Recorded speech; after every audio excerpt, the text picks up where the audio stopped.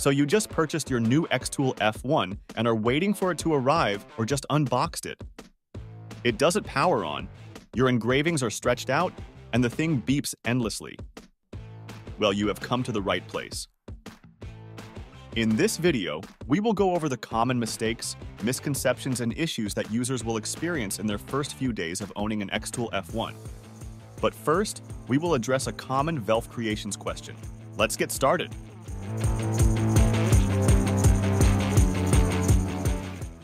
Let's go over our most asked question.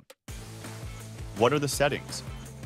The main purpose of our channel is to share settings with our followers, so here are three places to find our settings. First is in the description or caption of the post. This is the most common place, and if you can't find the description on a YouTube short, simply long press on the video. Next, we may include the settings in an overlay on the video itself. Finally, we may also include the settings in the comments. These locations apply to all of our accounts, Instagram, TikTok, and YouTube. Also, check out our settings compilation video where you can get a PDF of all our most recent settings.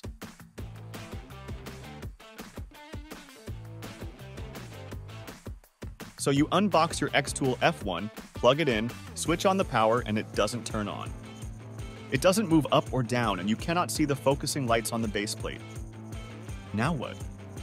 The F1 has an emergency stop button on the left side. Simply twist it clockwise to release it, and the F1 should automatically power on.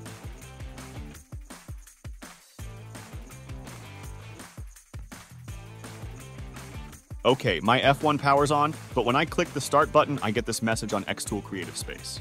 Your F1 will come with two USB keys that will plug into the back. If you are missing this key, Xtool Creative Space won't allow you to start a job. All you have to do is plug it in and your issue will be resolved.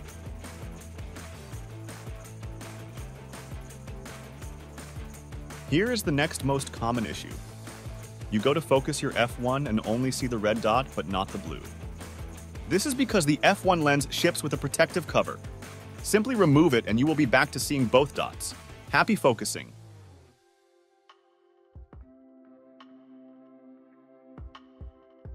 Sometimes you are so excited to just pick up your material after engraving it, but we recommend not to move your material until you are comfortable with the settings. This applies to tumblers with the RA2 Pro as well. It is best to visually inspect your design, and if it requires another pass, you can update the settings and run it again. Or you can simply double press the start button to rerun the previous job. Neat!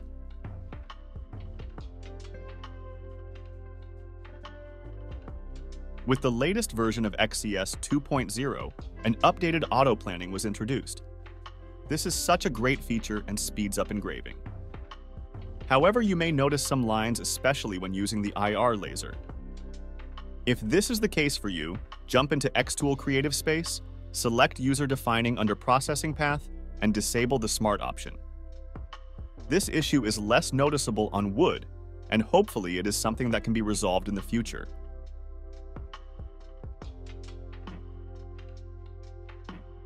Let's say you have a beautiful hand painting photo of your wife and you want to engrave it onto a durable black metal card to keep in your wallet.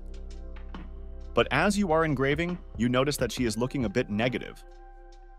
Well, luckily for you, that is an easy fix. All you need to do is select the photo in XCS, open Image Adjustments, and select Invert. This is recommended anytime you are engraving on something dark. And there you have it, your wife is looking as beautiful as the day you met her, Nice.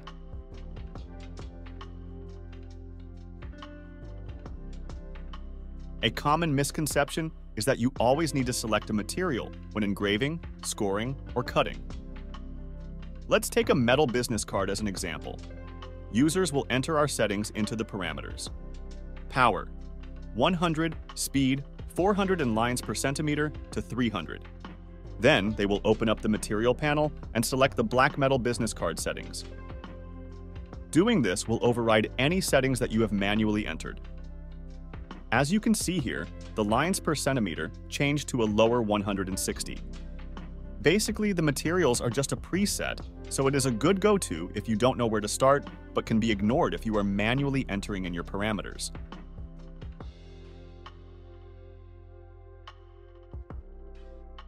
Xtool Creative Space allows a user to import either a PNG and JPEG or a SVG. Here we have an SVG on the left and a PNG on the right. XCS will handle these two differently.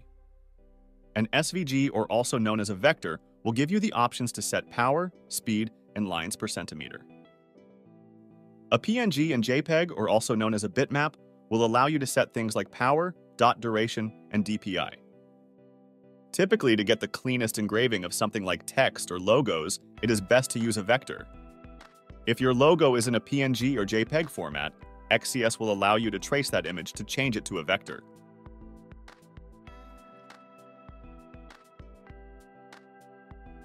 So you click the Start button and hear a you go to click Start Job in XCS. Click Cancel. Have no fear, this is an easy fix too. Head over to XCS and while connected to your laser, select the settings icon in the top right corner and disable buzzer reminders. Ah, sweet, sweet silence. Sometimes you may experience some fading towards the top of your engraving when using the IR laser. There is one more thing you can update in the F1 settings, infrared ray preheat the IR laser works best at a certain operating temperature. In some cases, when you are in a cold environment, or even when you run the IR for the first time in the session, it may start engraving at a lower power. This option will preheat the laser before starting. But keep in mind, this option will reset with each new project or XCS session.